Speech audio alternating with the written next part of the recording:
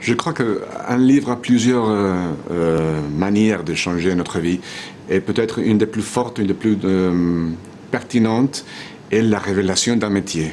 quand, on livre, quand un livre nous découvre une destinée professionnelle, disons une vocation, c'est un un changement de vie très fort. Et pour moi, ça a été la lecture de l'Ulysse de Joyce, un roman que j'ai lu quand j'avais 21 ans et que euh, je croyais toujours avoir une destinée d'avocat, comme la plupart des gens dans ma famille. Ce livre m'a révélé que euh, ma vraie vocation était celle d'écrivain, de romancier.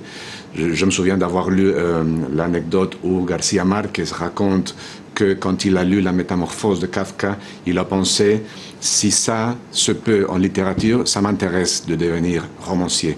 Moi, je pensais la même chose quand j'ai lu l'Ulysse de Joyce. Si ça se peut, si c'est permis de faire tout cela en littérature, ça m'intéresse de devenir romancier. C'est pour ça que ce livre-là m'a changé la vie.